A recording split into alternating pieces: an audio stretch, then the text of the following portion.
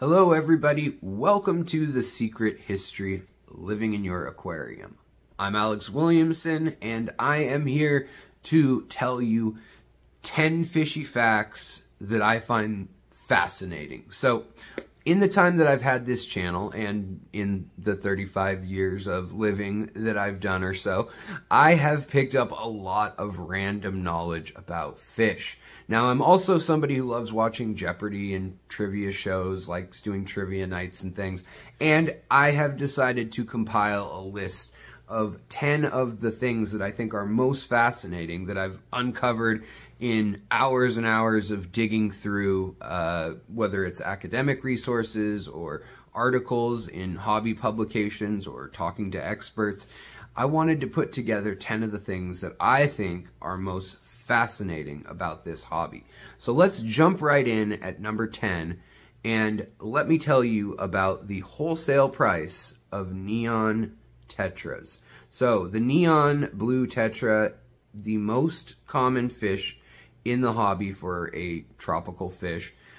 When you go deep into the Amazon where these fish live, uh, you could be the Brazilian, the Colombian, or the Venezuelan Amazon.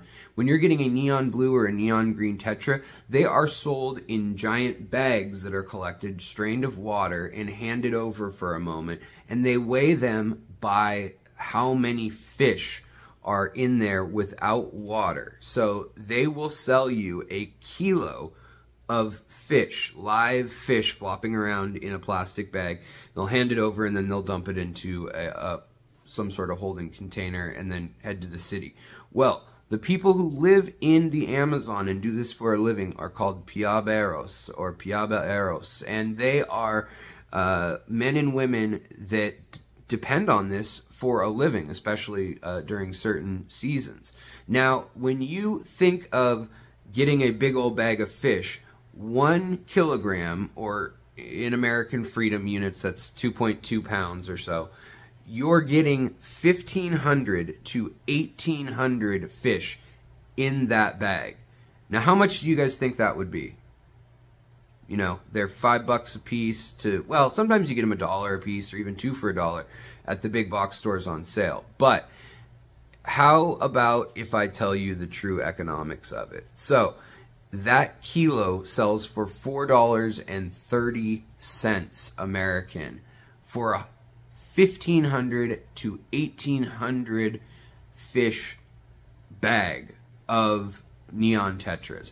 Now, if we break that down, $4.30, 1500 fish, let's be conservative, that's 0.28 cents a fish, or four fish for a penny. However, once imported over the U.S. border, the average wholesale cost in 2018 was 10 cents and uh, some change. So around 10.2 cents of fish wholesale uh, from the big distributors. So from there, they go to middlemen, and they may be anywhere from 50 cents to a dollar, and then the, from there, they'll go to the retail stores, and they'll be anywhere from uh, 99 cents to 5 bucks, I guess, depending on uh, where you're at these days. But the ones you get that are very inexpensive are coming from those mass shipments, and a lot of them pass away in transit, and a lot of them have been basically starved of food and just shuffled all over the place while shipping. And so it's not a, a, very healthy fish generally at the big box stores. So I highly recommend that you pay the extra, you know, dollar or two and get the one that's $3.99 or $4.99 of fish and looks beautiful. It's bigger, it's healthier, doesn't have parasites, it won't get your other fish sick. Uh, but yeah, isn't that crazy that those fish are less than a quarter of a penny each in the Amazon? All right, number nine on our list. The Europeans also raised a form of koi long before the uh, carp we know today as the Asian koi or goldfish, either one, uh, which came from two different wild species of carp in Asia. As early as 900 AD or CE, Austrian monks were keeping domesticated carp uh, in their ponds at monasteries in Europe, and they had already written that they were well domesticated. Now, the fish kept in Europe was known as Cyprinus carpio carpio. What a Latin name, which the monks spoke at the time too, actually. Uh, they were up to two feet long and silver uh, metallic color and they were known as mirror carps, the ones that were domesticated. And they had these silver uh, reflective scales all down their face and their spine. And they had no scales on their side, which was extremely desirable back in the medieval times and the dark ages because it meant that you didn't have to descale these fish while serving a banquet or something. So a lot of time, uh, a lot of the times these fish were a status symbol and people would keep them in their moats. And moats are sometimes where uh, wastewater and other things were thrown from the castle as well as any runoff or whatnot. And not that every castle had a moat. A lot of them had ponds or uh, actual uh, uh fish lakes inside the the boundary or just outside the boundary of the castle. And by 800 years ago these fish were being kept in those ponds all across Europe. And they had different color variations, black, white, uh, yellowish, silver, gold. And they also included another fish called the leather carp, which is a variation of the mirror carp, but it has no scales on it. So there's not even the silver scales. And it was known in Britain, uh, modern day UK, and it was seen as kind of the ultimate in high status to have a carp that you didn't have to really prepare at all. And I guess it looked great on a banquet table. But that strain was kind of lost as a pet fish, even though they were kind of a thing that you would display in your gardens and so forth. And it was in 1918 that actually a Japanese man who bred koi decided to bring one of these these mirror carp from Austria from that same monastery that first wrote about them and brought it all the way back to Japan and he bred it with the Asian carp, which is in the same genus still actually. And that is what gives us the Doitsu carp or Doitsu koi as we know them now. They are actually just a cross of the wild Asian and the wild Eurasian or European carps that were domesticated and they have the reflective metallic scales and the defined scales where you can see darkness in between the overlapping scales. I think that's pretty cool. All right, number eight on the list. In 2019, something mind-boggling occurred in a Hungarian research lab. In a 20,000 gallon aquarium holding a bunch of giant monster fish species, uh, the fish in the tank from all over the world, all of a sudden, two of them crossed and produced one of the strangest hybrids of all time, the sturddlefish.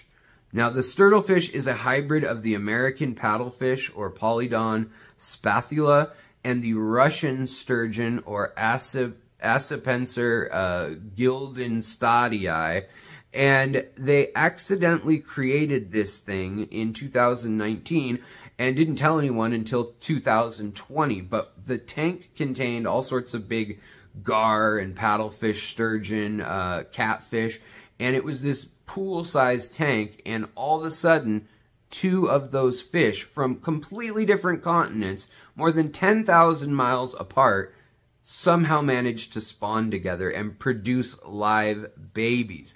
Now, even more incredibly, these two fish were separated by uh, 184 million years of evolution. That's back before the dinosaurs died out. So they are in completely different taxonomic families and their native ecosystems, again, are over 10,000 miles apart.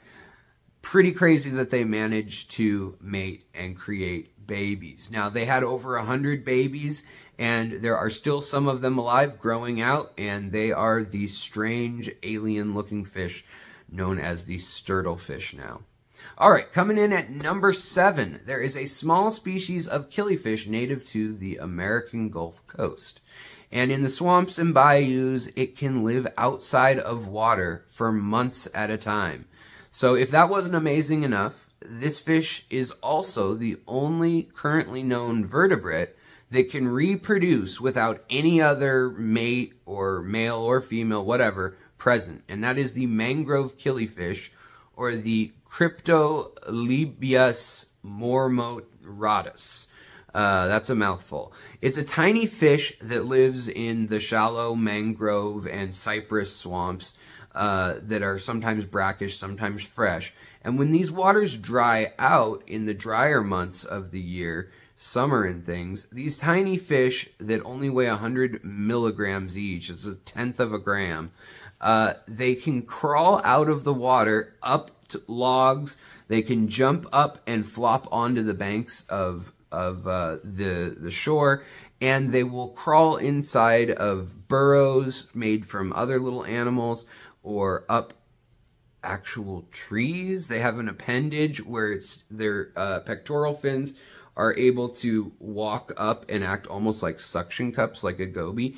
And they are able to climb up these trees and then get inside of the rotten ones. And as long as the humidity is over 50%, which it almost always is down in the south where they live, uh, they are able to survive in that tree and they're able to lay eggs. And by the time they come out of there, they have fertile babies uh, that uh, eggs that are ready to hatch this little killifish. Now, they would prefer to mate with another fish because that allows more diversity in their uh, ev evolutionary line. But it looks like we know which fish will be surviving with the cockroaches when the apocalypse happens.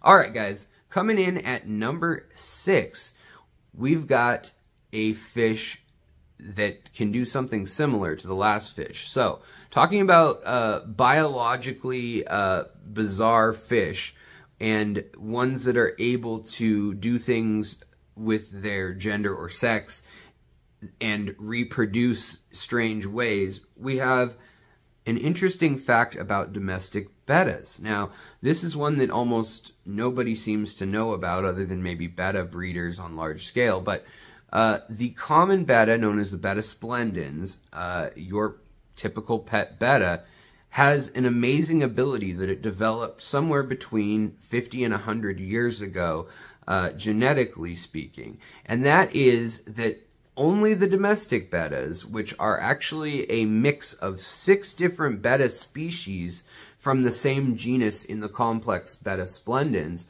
those fish that are known as Betta splendens domesticated actually had a mutation on their DMRT1 gene and it jumped. It used to be on the X chromosome and it jumped over to the S chromosome. It can be also be found in some fish on the Y or the T.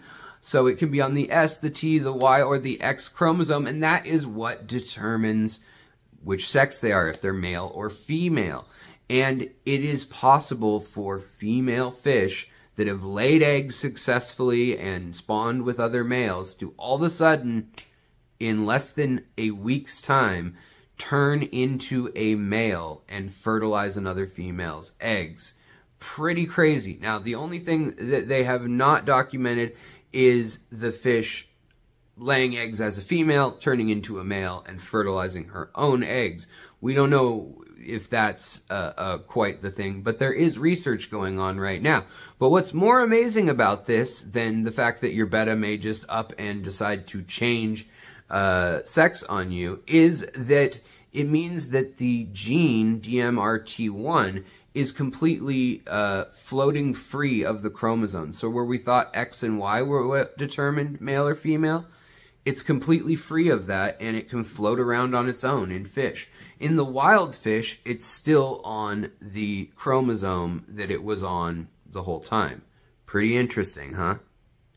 All right, number five on our list is a fact about the clouded archerfish, which can squirt a concentrated jet of water over six feet or two meters out of the water and up into the trees or onto the banks of river, hitting unsuspecting insects and bugs waiting, and then they fall into the water and become a meal. Now, perhaps the most amazing thing about this is they're able to pull it off with their eyes under the surface of the water, meaning that just their mouth is out, and they've evolved not only the ability to act like little super soakers, but they have evolved an extremely specialized ability to judge distance, water uh, pressure, and water resistance, and the angle that light refracts and warps when you're under the surface so that they have incredible accuracy with just their mouth squirting the water. Now, these fish are so good at this skill that owners have reported that the pet archerfish actually squirt at cans of food uh, that are outside the tank in the fish room, hoping to get an extra meal. Now, one more interesting thing about these fish is that the famed author Rudyard Kipling who is the author of The Jungle Book and Rikki Tikki Tavi, if you remember those as a kid. Uh, he wrote in his diary while he was living in India and traveling on the riverboats that Englishmen uh, in the colonial territory of India would grow increasingly angry as their cigars and pipes were expertly targeted and extinguished over and over by these archer fish. And they were perplexed, and so they'd keep lighting them and keep trying. And five seconds later, they'd get put out again. And it was said that the local Indian fishermen would uh, and sailors knew to cup their smokes, which were known as beedies, and they would cover the ember so that it couldn't be seen by the fish, and this prevented that persistent archer fish from trying to put it out. Now, why was it putting it out? Well, it turns out that fireflies are extremely common in that part of India, and that they would shoot the water jets at the uh, fireflies, and they'd fall into the water, and then they'd eat them. So they were mistaking their smoking embers for fireflies. Pretty interesting, if not maybe a little bit apocryphal.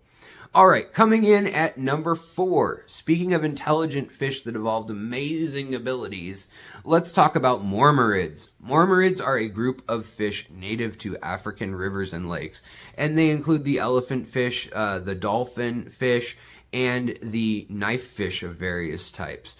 Uh, all from Africa. Now, they're unlike any other African fish in that they are electric.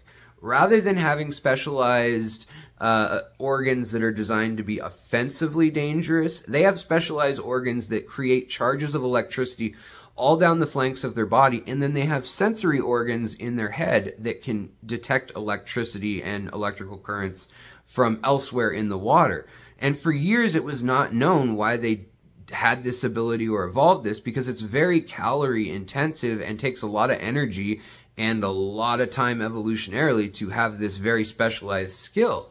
But only uh, as of a few years ago, they figured out that unlike electric eels that use it to stun prey and so forth and produce enough of it that it's out in the water in these concentrated bursts, mormyrids, or uh, the little elephant nose petersii mormyrid specifically being studied, they were constantly sending signals out. And you could actually put in a little headphone jack, and with the right sensor, you could hear these as uh, the electrical signals as pulses and clicks and different click, click, click, click, click, click, pop, click, click, click, weird little noises. And each signal was different frequencies and lengths. And it turns out that each of those mormyrid species had over 30 unique signals and pulses they could put out, meaning that in muddy waters, they, like the Nile River, they're communicating with their fellow mormyrids. Now, this could be heard from easily 50 to sometimes even 100 meters away in the water, and scientists noted that they had signals for when they were feeding, when they wanted to spawn, and they were looking at the opposite, uh, you know, trying to show off for a mate.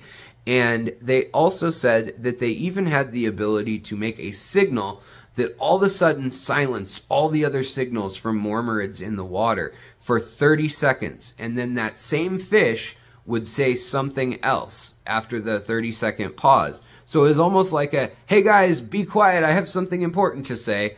And then it would say the signal. Now, they're still working with linguists to try and decipher what it is they're communicating. But beyond this, they also use it as a way to sense things around them, almost like sonar. So it's a pretty amazing skill they evolved.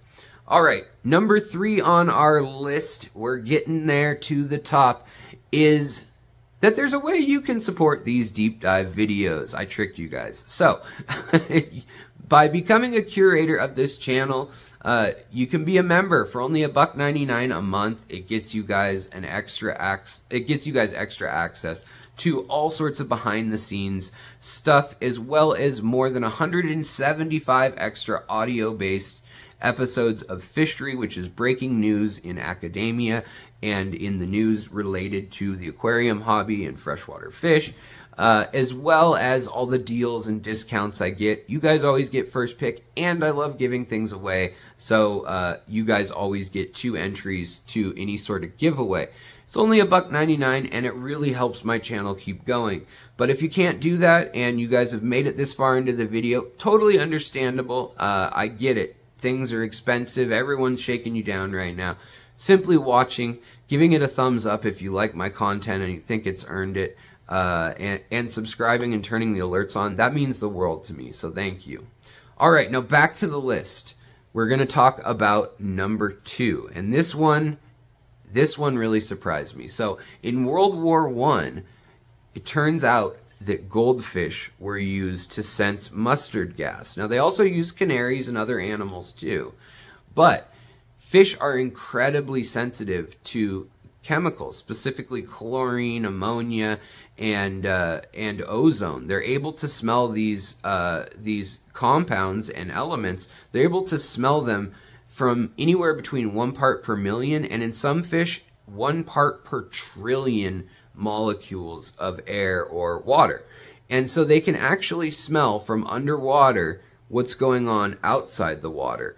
And they can detect, like I said, ozone, fresh water ions, ammonia, chlorine, and they can even tell which direction it's coming from.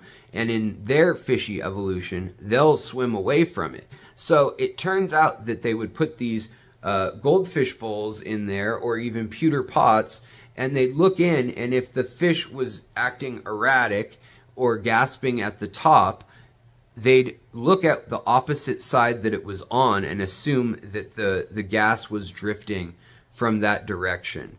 Now, that's pretty interesting on its own, and, uh, you know, it, it was one of the on the fly things that they came up with since they didn't have any other way to detect it other than seeing it and uh, feeling its effects, the gas. Sometimes it would lay low and the wind would blow it in. So, one thing I wanted to mention tied in with this fact is that catfish have over a thousand taste buds on the outside of their skin. Now, this is almost all catfish have at least that many. Some have up to a million little uh, sensor cells, like the entire surface of their skin is a sensor cell and they're able to find traces of moisture and drying out. Uh, if they're in a puddle that's drying out, they're able to sense where the moisture is on the horizon. And some fish can go up to half a mile or a kilometer and they can sense, oh, that's fresh water because when water's flowing or moving, it creates ions a lot of times. Also, ozone is produced during rainstorms and things, so they can sense if a rainstorm's about to begin. And things like the walking carp or the snakehead, they're able to get out of their little puddle that's drying up and burrow. And a lot of them are able to enter what's called torpor and actually hide in the mud as long as they're hydrated and slow down their entire system for five to six months if need be. I think that's pretty awesome. All right, guys. So we're at number one now, and number one, the most fascinating factoid about fish that I uh, wanted to include on today's list is brand new info that was only published and discovered last year in 2022. An international team of scientists and geneticists recently discovered that we have officially domesticated several fish. Now, before this, it was thought only mammals had been domesticated and only a select few other than uh, poultry. Poultry were the exception to that. But now we know that genetically speaking, there is a gene that means that something's been domesticated. And it includes goldfish, koi, zebra danios, Medaka ricefish, blue Nile tilapia, and betta splendens, probably amongst others, but those are the ones we've found so far.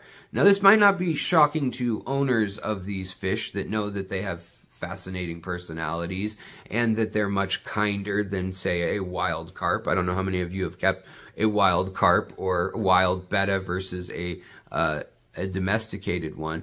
But the interesting thing about these fish is that they have a nerve cluster in their in their brain. And when they're developing their spinal column and brain as an embryo they actually have what's called a neurocranial crest. And it's a cluster of little cells and it is underdeveloped in domesticated creatures. It's a very rare thing and they notice it whether it's a pig or a dog or a cat and they also notice that they're more cooperative, they'll breed in captivity, as well as they are much less aggressive. Now you may be thinking, okay, bettas, they're they're known to be aggressive. Well, just like some dogs, like a pit bull or whatnot, they have the capacity to be more aggressive. And uh, I guess a pit bull isn't the best example in that uh, Rottweilers or uh, other other dogs, bulldogs and things like that, they were selectively bred to be fighters or to be defense dogs and things like that.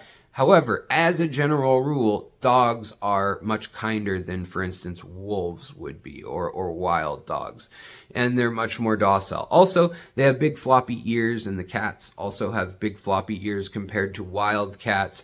And uh, those things are true. Those bigger eyes, floppy ears, and little nose that you see going on in domesticated mammals well, apparently they measured the faces of bettas and they found that the ratio of the smaller mouth, the big old eyes, and where their gills are rather than their ears are in a similar ratio to kittens and puppies. And this ratio is found in baby humans until the age of two also. So they think it evolved in humans as a way to endear us to our parents. And so that people would say, oh, that's cute. And the crazy twist about all this, if that isn't enough, is that humans are now found also to be domesticated. Yes, humans domesticated themselves apparently, and that was through cooperative living together peacefully. There was a selective pressure that said it's better to be uh, domesticated or to have this trait than to not. So rather than being aggressive and rather than fighting, it's better to share resources, work together, and so forth. So we have this gene change in DMRT1, just like uh, the bettas where I mentioned that had jumped on one of our earliest facts. And it turns out that this same gene is probably because of fish that it evolved. So it was originally on the banks of the Rift Valley uh, lakes and rivers that humans first started living in larger groups. So we find individual humans uh, for hundreds of thousands, if not, you could say millions of years if you count our ancestors. But humans, modern day humans, have been around for 200 to 300,000 years, safe to say. And they didn't leave Africa really until around uh, 60,000 years ago or so when they went all the way down to Australia and uh, Asia, Polynesia, India. And then the next group came out around 40,000 years ago, went up into Europe, mixed with Neanderthals, whereas the other group mixed with Denisovans. There's a whole video on that if you want to know about it. But the crazy thing about that DMRT1 gene is that it probably developed while we were living in Central to Northern Africa, as well as Israel uh, and Babylonian, uh, modern day Iran, Iraq. As we're coming out of Africa 30 to 40,000 years ago, the main migration out, we find sites with humans living in large numbers and they are fishing. Fish are what allowed them to settle down in groups of over 100 people. Before that, they have to move with the food. Now, in this time, they're probably doing agriculture and horticulture is more appropriately uh, the title of it, in that they would move and they'd plant some plants and they'd come back and visit it later. Well, this gave them an incentive to stay there full time because the water source was there full time. So it could be that fish domesticated us and then we selectively domesticated fish. Pretty crazy, huh, guys? If you guys liked this and enjoyed it, you know what to do. Thank you so much for watching, and I'll see you guys next time on The Secret History Living in Your Aquarium.